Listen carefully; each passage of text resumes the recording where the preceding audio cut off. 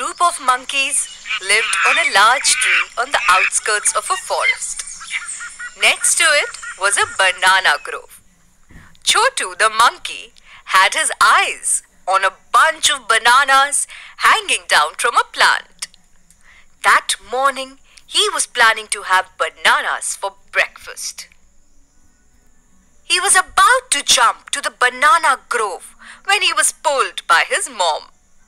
Their chief was speaking. Hope all of you remember. Today is the day of fasting for us. All the monkeys nodded their head. Chotu also nodded, though he had forgotten all about the fast. At a signal from the chief, all the monkeys closed their eyes. Closing eyes helps in fasting, Mom explained. After a few minutes, Chotu slowly opened a corner of his eye.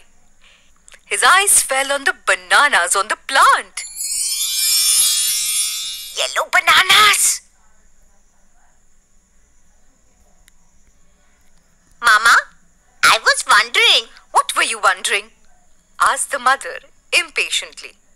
I was wondering, fasting means we can't eat anything, right? Yes, strictly no eating. But we can look at the bananas, can't we? Chotu asked hopefully. I think, said the chief as he himself opened his eyes. Mm, there is no harm in looking at the bananas. Then he added, Only looking. Other monkeys nodded their heads as they opened their eyes, saying, Only looking. Monkeys sat looking at the bananas hanging from banana plants. Mama, can't we hold a banana in our hand? asked Chotu. Oh, a good suggestion, said the chief. And so each monkey picked up a ripe yellow banana and held it in their hands. But no eating, said the chief sternly. Now, let's close our eyes. All the monkeys closed their eyes. Chotu opened a corner of his eye and longingly looked at the banana in his hand. I was just thinking, started Chotu. Harm in peeling off the banana? asked Chotu hopefully. Mind you, not eating it, only peeling off the banana and looking at it. Mm, I see no harm in it, said the vice chief. In no time, the bananas were peeled off.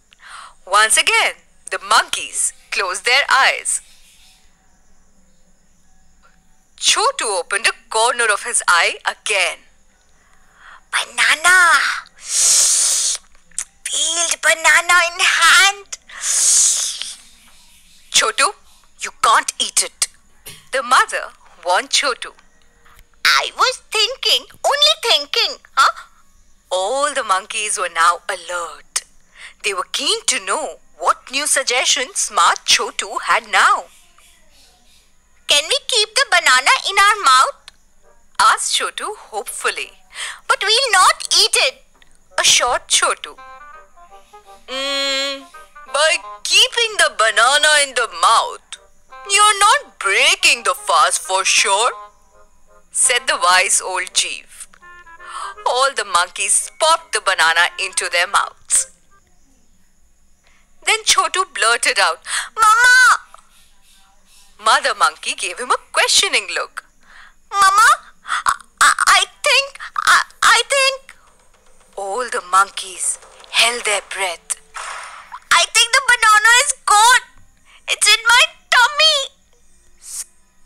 There was silence. And then the wise chief spoke. Hmm. We have made a great discovery. Everyone looked at the wise old monkey with great attention. we have made a great discovery that you cannot keep a banana in the mouth for too long. All the monkeys nodded their heads gravely. That was the end of their fasting.